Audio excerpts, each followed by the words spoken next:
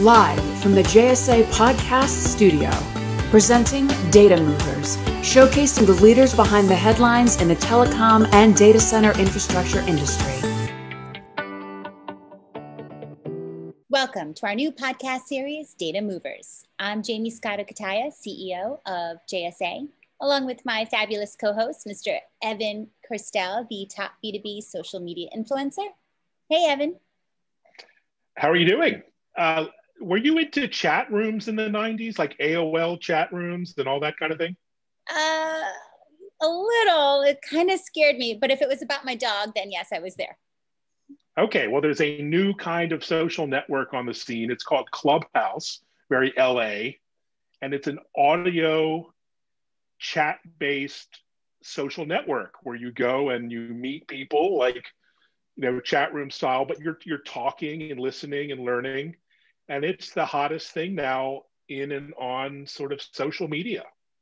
I'm, I'm starting to see the buzz people uh, announcing their new clubhouse group uh, you know uh, it's it's really interesting. So uh, tell me is this like a, a response to um, Twitter and some of the other big techs uh, saying no to certain politicians lately and kicking them out, giving them boot? It's it seems to be more about people wanting that sort of human connection, and uh, it's not like a Facebook or Twitter and LinkedIn that's text or you know video based. It's all audio chat. So you go on and literally talk, you know, like to people, like we used to do in the '80s.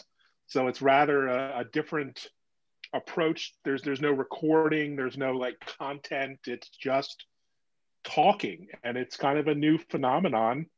And uh, in this day of um, lockdowns and bubbles and people seem to really be into it. Yeah and we're seeing podcasts obviously on the rise. So um, you know i think folks are really drawn to uh, again that human connection hearing people feeling their emotion through their words not just seeing it on text or um, you know video that you might not necessarily be able to connect with but um, yeah i mean the power of audio it's definitely yeah uh, so the the, the next uh, big thing. So speaking of uh, audio we have a great guest today. We do uh, and uh, you know when we've conceived of data movers I'll, I'll, tell you there were some key guests that we wanted just out of the gate um, because they they did really personify uh, what, what, we had in mind here with this podcast, which is to sit down with the most influential men and women of our industry, really uh, the leading telcos and data centers supporting that network infrastructure. So I'm really excited about our next guest. Uh, please welcome Mr. Todd Cushing. He is the president of 1623 Farnam. Hey, Todd. Hey, how are you, Jaymie? Really good, thanks. Good. Yeah, been pleasure. Yeah, likewise. Welcome, Todd. Good to see you. Uh, uh, I think you're in Omaha, Nebraska. Yes, sir. A little bit of snow going so, on today and about 25 mile an hour winds. So beautiful outside. Oh, I, I love it. Well, I'm going to go right there. It's kind of my favorite uh, winter destination. But before we dive into your background, tell me a good Warren Buffett story. I'm sure you know Warren. You ran into him in the diner. Everyone knows everyone else in Omaha, right? Sure. Warren uh, likes to eat a place called Gorat's, and he typically likes to have a hot fudge sundae. So, just, he, so the rumor is he asked his doctor if he ate hot fudge sundaes or ate healthy, how much would it extend his life? And it was something like six months. And he's like, you know, hot fudge sundaes for me and a Coke. So, but uh, I've literally been at lunch with people before. They were like, you know, we want to see where Warren likes to hang out, and we did it. And sure as heck, he came in and they put him behind the planter so nobody hassles him. Had some people walk in that I didn't know who they were. Has his little lunch thing with those guys, and it's kind of private part of the restaurant. But that's Gorat's is where he likes to have lunch in Omaha. That's great. Yeah, he's one of my business heroes. Seems like a wonderful guy, and he's not even on Reddit. So you know, what, what a great uh, what a great individual. Um, so speaking of industries and investing, it's been a tough year for many industries but it seems like you guys at at 1623 Farnam have had uh, you know quite a year with some really important milestones and persevered against what's what's been a tough environment generally. You know, tell us more. I, I see some headlines here like a 40 million dollar expansion, uh, all kinds of, of, of good stuff. So give us some sure. insight if you would. Yeah, for us, we we were designated an essential facility right away. So having the access, because nobody knew how locked down things were going to get, that we had the paperwork. So if we needed to get back and forth, and we're an existing business, existing data center, so we're upgrading it to the $40 million phase one of the expansion. And we are able to keep the facility up and running, customers happy, and expand the electrical mechanical capabilities by eightfold from what it was before. So we'll have eight megawatts at the curb. It's uh, below ground transformers, sub, subterranean. And they are, uh, the clients are watching us evolve. So a lot of them are very happy to see an investment happening in a facility that's been around for quite a while in the right in the middle of the US and to see it taken to a new level of security, a new level of uh, infrastructure, just from a fiber standpoint, the vaults, the way that the the risers and the point of entries are managed is just uh, it's it's what it would be is it almost was a new build, um, though it's an existing. So a lot of times a remodel is a lot harder than a greenfield. So it's it's a big deal for us to have it happen. And what we've also seen happen this year is the rise in remote hands and people wanting to not come on site. So they want to deploy and they want to ship a cabinet maybe partially full or have us just rack and stack for them, which we're doing a lot more than that that we've ever done before. And the traffic, the volume is, you know, podcasts, Zoom, uh, Microsoft meetings, team meetings, et cetera, there's a lot more volume coming through that our customers, the carriers, have had to respond to. So we've seen a lot of expansion in that regard as well. Yeah, and we're definitely seeing it on our end too. The, tr- the trends are, are really uh, insane. The demand for data center services and especially interconnection, huge rise, huge uptick there. What's responsible, do you think? You know, it's it's the people that weren't doing video, I think, that maybe weren't comfortable having a video conversation or even sending an invite for one. You know, so you'll see people kind of have an embarrassing moment at first when this first started. Now they're getting to be pros as you've had that interface with them. And we see it with clients that we talk to as well that are, hey, I need a, um, a bigger IX port. So I'm going to go from 10 gig or multiple 10 gigs to 100 gig because of that. So we've seen um, carriers bring in new routes as a result of that. So it's just the volume, it's the sheer size of data that people are trying to move files. They're trying to interconnect. It's the ecosystem. It's really not one thing. People have really got so they're using cloud for this or enterprise typical for that, and they're they're changing their their mix around a little bit. And we've had some people who are just a normal contract end have said, hey, we're going to move from traditional enterprise cabinet to this, where we're going to go onto an on-ramp partner and we're really going to the cloud. So we've seen that happen too. And it wasn't like they locked down or people couldn't access their systems to make those changes. People continue to evolve their technology. Yeah, and you guys are the home to quite a unique internet peering hub, uh, Omaha IX Exchange. So tell us the significance of having that in very close proximity to your data center. Sure. So IXs are not, they're still kind of mystifying to some people. A lot of people don't understand what an IX is. They're, they're European, they're in bigger cities, but for Omaha, uh, we're not Dallas, we're not Los Angeles. So people, people here in our, in our region, you know, had to have some education. We've had the content folks using it. So your Akamai or your, your carriers or your, your different um, people that wanted to share content to hyperscale, wanted to put some, some things out there but for people to understand it has made it really evolve. And the IX was not owned by us. It was in our facility and it was called the Omaha IX, but it was owned by somebody else. So that group was a, a good friend, a good partner for us. And we were able to negotiate with them and say, hey, if you ever wanted to sell it, we'd sure be interested. So the time came around, they were interested and, and uh, we were ready and we made the purchase and now we're making some upgrades and some changes and then we've tethered off of our IX now. We're going to tether some more. Uh, so there would be remote, almost satellite IXs off of the Omaha IX. But I think having uh, control of it, we were a little concerned that maybe from a carrier competition, because we're carrier neutral, it'd be a problem, but it really hasn't been a problem. It's been uh, a tertiary network that people can use for, to move data and connect on when they don't want to buy solid bandwidth that you know that they have to be accountable to. Yeah, I can tell you firsthand, you know, the beauty and the strength of the business model for the data center owners to also be managing those core interconnections and, and the peering fabric uh, all in-house. It actually uh, solves for a lot of problems. So uh, I love that story. We also know that 1623 Farnam, just to skip away from Google's largest North American cloud node, uh, as well as other hyperscalers and OTTs in the area. What has led them to Omaha? Why Omaha? I think the economic incentives that Nebraska had, it was always competitive between Omaha, well, really Nebraska and Iowa. Iowa is literally the Missouri River, which we're, you know, you practically, we're about three miles away from where their large site is. Google now has three sites within seven miles of us, and they're going to build another one in Lincoln. So they've got several hundred acres there.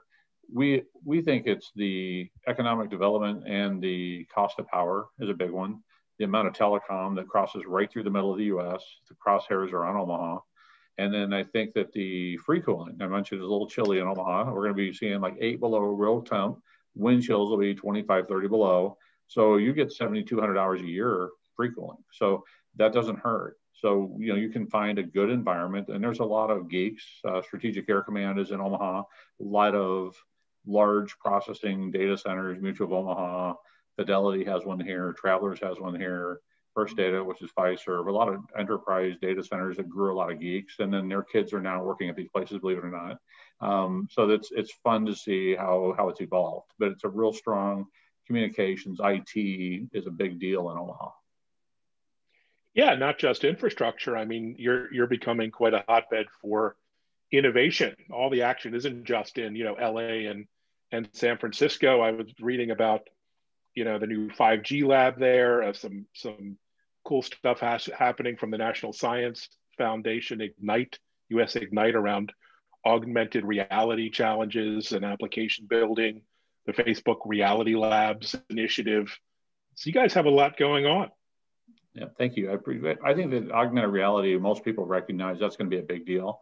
How much it's going to be a big deal is just fascinating as we talk to our clients and what they're trying to achieve. It can be military, it could be medical, it can be marketing, it can be just interfacing the way we are now um, and, entertainment, you know, is, is a big part of the gaming piece of it. So we have people literally will be in proximity of our, our building so they can have that exposure to the 5G. We've got a CRAN that's on our, our entire fourth floor is uh, Verizon. So they're they basically you know their CRANs in our facility. We've got a lot of 5G in Omaha. So for a city our size, I'm an Apple guy by, by nature. I'm sitting here with 5G on my phone. I've got a, a, a lucky enough to have it. My wife doesn't think so, but I do. A antenna in my front yard, and so I've got 110 fiber to that thing, and I know a lot more about it than probably my neighbors would want to know.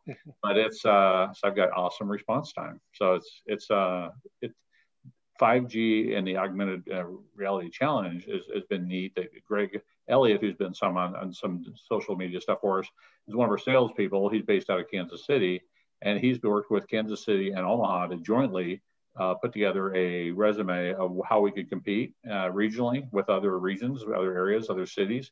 And the Chamber of Commerce here has been very much involved. We've had universities, uh, hospitals that are into AI uh, that have wanted to be part of it. So to see what I thought was a niche, or maybe wasn't maybe as mature, uh, where they've got super maturity. These folks are creating, you know, organs and things in augmented reality. So it's amazing what they can do and share in the size of these files, and it gives us an insight to, again, it's not going to be just dark fiber and a network you're going to move these kind of files with. It's going to be 5G at that at that location and probably some dark fiber and other things in order to move that kind of file. You you aren't going to send 3D or holograms or things without being able to do that uh, type of bandwidth.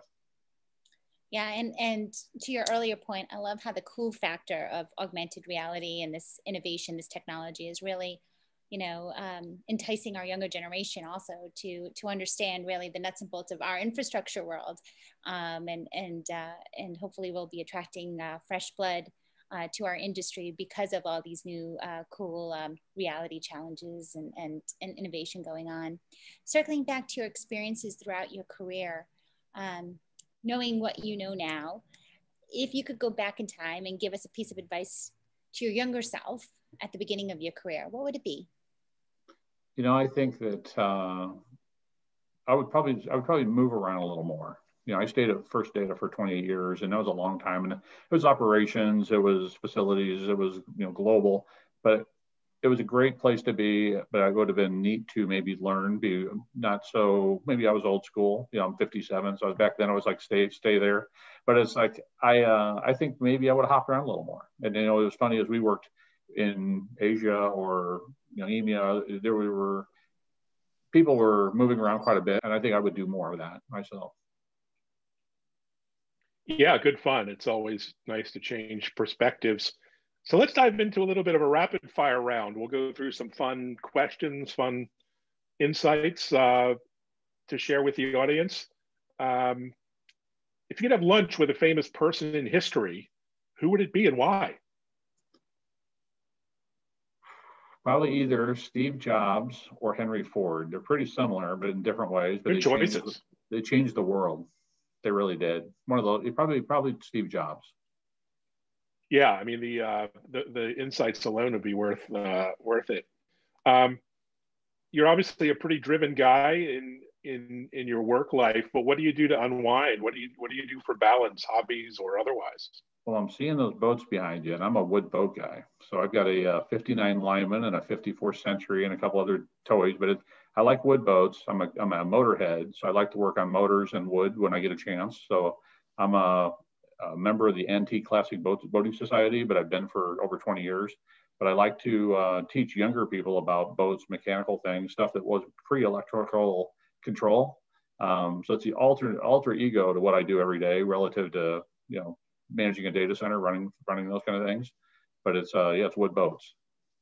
That's fantastic. Well, send us a couple of pics we can share with this episode. I'm, I'm sure there are folks like me who'd love to, love to see it. Um, what's your favorite food? And I don't know much about cuisine in Omaha, but it, maybe it's an ice cream sundae with with Warren Buffett, or you know, you know, it's something a little more exotic. Omaha has some pretty good steaks, but my favorite, if it's my birthday, if it's my birthday, my mom used to make a thing called ham loaf. And that's once a year. The family will put up with it. My wife will make it for me, but it's ham loaf. that sounds like the most Omaha, Nebraska dish ever. So yes, I, I, I can imagine ham loaf right now. Um, movies, you know, we're all glued to our televisions with the pandemic. If you could watch one movie on repeat 24 hours straight, which one would it would it be? Well, the wood boat guy in me likes on Golden Pond. However, Alien is probably my favorite. I thought the Those first Alien the same. scared the heck out of me, and it was awesome. So Alien. Uh, Alien's a good one. And even the even the uh, the whole series is they did a good job with all the uh, the success and successive movies. Well, look, thanks so much for joining us, Jaymie. Yeah, thanks so much, Todd. It's always a pleasure to have you um, on JSA TV and, and particularly here on Data Movers. It's I got to learn so much more about you uh, and very fascinating. I love the, the wooden boats. That's awesome. Thank, thank you. Uh, so if you enjoyed today's Data Movers podcast, be sure to check us out on jsa.net slash podcast for upcoming Data Movers episodes, releasing every other week on Wednesday mornings. And um, and also go ahead and check us out, right, Evan? Yeah, follow us on Twitter at Jay Scotto and Evan Kirstel, and let's continue the conversation. Absolutely. Thanks everyone for listening in, and happy networking.